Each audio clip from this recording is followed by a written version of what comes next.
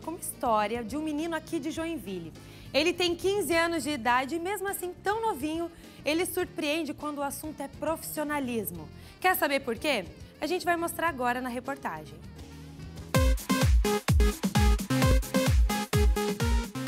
E o ditado diz: filho de peixe, peixinho é, o João Pedro levou bem à risca. E cedo.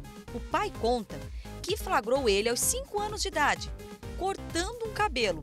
E de lá para cá, por vontade própria, o João só foi demonstrando mais e mais o sonho de vida. Também ser cabeleireiro. Ele estava em pé em cima do banquinho com a maquininha, cortando o cabelo do cliente, com um cliente que já conhecia ele, que pediu para poder deixar ele cortar o cabelo, né? E, e, quando eu passei com o carro na frente do salão, ele já estava no banquinho cortando o cabelo do cliente. De lá para cá, veio desenvolvendo, veio aprendendo e está hoje aí, ajudando aí, trabalhando do lado do pai, fazendo uma coisa bacana, né? E no dia a dia do salão, pai, filho, mãe, a tia do João Pedro e até o irmão mais novo, mesmo que ainda pouco, mas já está ali, olhando, ajuda de vez em quando. Também quer seguir nas tesouras e nas máquinas de corte. O João Pedro, aos 12 anos, se formou na profissão e aos 15 já tem bancada própria de trabalho e clientes bem satisfeitos. É um jovem aprendiz aí nesse vasto né, aí, é, mercado, né?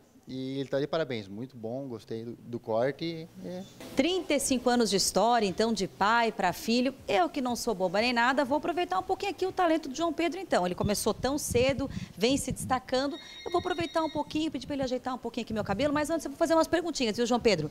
Você que pediu, então, partiu de ti. Sim. Então, é, desde pequeno, já convivendo dentro do salão, né, desde pequeno, e eu acabei me interessando pela profissão porque desde sempre eu venho ajudando meu pai, varrendo o salão, arrumando bancada, comecei a querer lavar cabelo e assim, desde sempre eu fui gostando de fazer isso, né? Até que um dia meu pai me propôs a ideia de fazer um curso de cabeleireiro e era o que eu mais queria, entendeu? Então já estava na minha mente. Aí na hora que ele falou isso eu já aceitei de cara e aí me inscreveram na escola lá, né? Me aceitaram e eu comecei a fazer o curso como um adulto normal, né? E achei muito legal e todo dia, toda, era, três vezes por semana eu estava lá. Eu achava muito legal, fazia tudo lá, passava horas lá fazendo curso, né? E voltava para o salão e já ia trabalhar aqui no salão, cortar cabelo aqui. Então era sempre lá, aqui, sempre lá, aqui. Sempre gostei de fazer isso. E hoje eu estou aqui, né? Hoje a tua rotina é estudo, namorar um pouquinho, que eu já estou sabendo também. Como é que é? É, minha rotina é mais ou menos isso aí que você falou, né? Eu acordo de manhã, para a escola de manhã, né? O meu turno aqui no salão é mais de tarde, né? De manhã eu estudo, de tarde eu trabalho. E de noite dá para dar uma saída, claro, né? Tem que dar uma... Beijinho para namorada aí. Isso, uma aproveitada. Beijinho, é. E aí, assim, ó, eu perguntei pro teu pai como é que fica essa coisa trabalhando um do lado do outro. Dá umas tretinhas de vez em quando ou não?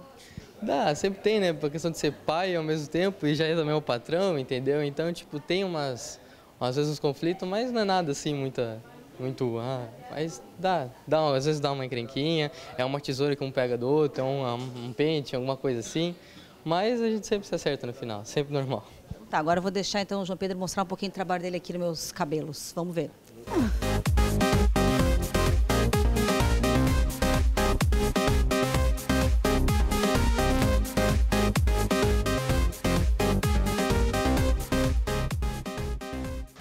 Tá, né?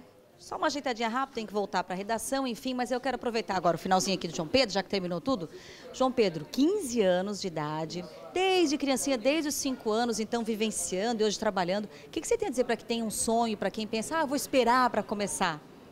Então, é, o que eu digo é para seguir o sonho, né? Porque, assim, se você tem um sonho, você sempre focar nele, sempre colocar ele no topo, sendo aquilo que você quer e lutar por isso, eu creio que você chega no resultado, entendeu? E vai obter sucesso. Então, o teu sonho? O meu sonho é, é continuar aqui no salão, né? É claro, criar uma rede de salão, é o que eu imagino, né? Mas começando tudo aqui e continuar tocando o salão do meu pai. O meu sonho é que ele se aposente com a minha mãe, né? E eles comecem a curtir um pouco mais a vida passando o salão para mim. E eu acabar entrando nesse rumo mesmo, assim, né? De cabeleireiro e tentar ter o meu salão, o salão dos outros, né? A minha linha de salão, essas coisas assim. E essa é a minha ideia para o futuro, né? É uma ideia muito legal.